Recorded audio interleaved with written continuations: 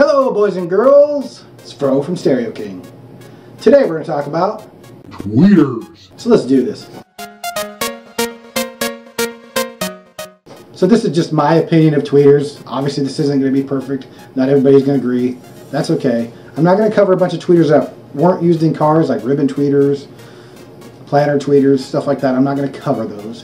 Definition of a tweeter. A person who uses Twitter to update countless people on stupid things they are doing at any given time. Wait, what? A loudspeaker designed to reproduce high frequency. First on our list, Paper tweeter. paper tweeters are generally very flat sounding tweeter. Not a lot of dynamics, not a lot of super high frequencies covered, but they are generally very affordable. Plastic tweeter. Oh, what to say about plastic tweeters? Plastic tweeters are super cheap.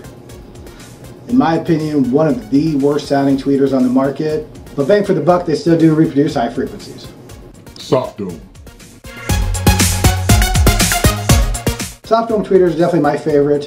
Very warm, very dynamic. So soft. Downfall to a soft dome tweeter is often they don't play extremely loud. Some of them will not play really high frequencies very well. But definitely still my favorite. Metal tweeter. Generally metal tweeters are aluminum based. Some of them are aluminum magnesium. They're going to play a little bit brighter, a little bit louder than a soft dome tweeter. A lot of them still have a lot of dynamics. Some are designed just for loud period. So if you pick up like a set of focals, tend to be a little bit more dynamic than say a Rockford, which is designed for loud. Next on our list, Horn tweeter. Horn tweeters are our biggest price point difference. You can get a $10 horn tweeter. You can get a $1,000 horn tweeter. Horn tweeters were pretty popular in the 90s, mostly on the cheap side, although companies like Image Dynamics actually had horn tweeters that you could put in your car. Downfall to that is they're hard to put in a car due to the size. Horn tweeters will take more power than a standard tweeter generally, and they'll generally play considerably lower than a standard tweeter, but you usually need a lot of EQing to get it right. Horn tweeters are still used today, not very common for in a car, but in a boat. Wet Sounds uses horns in their tower speakers so they can project to the rider. Super tweeter.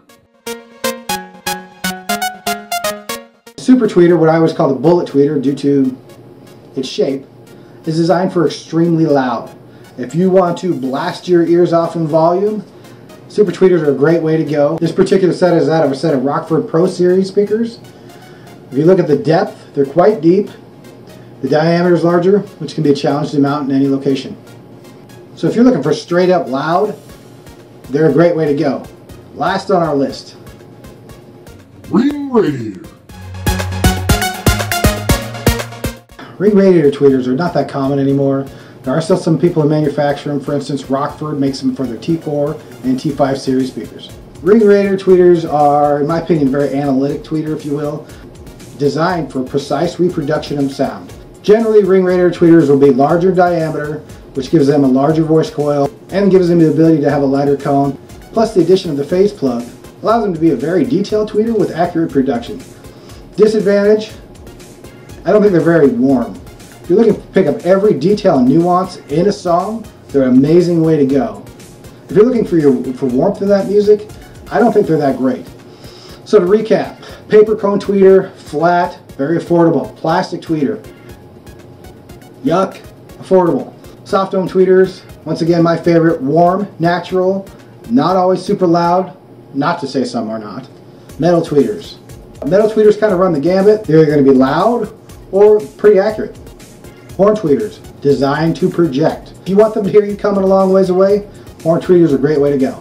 Super tweeters are straight volume. You want a ton of output and still be able to fit in your car. They're the best solution. Ring radiator tweeters are going to be your very detailed ones. You want to pick up every nuance in a song. They're the perfect solution. Don't expect a bunch of warmth. All right, guys, thanks for watching. And as always, have a great day. Fro out.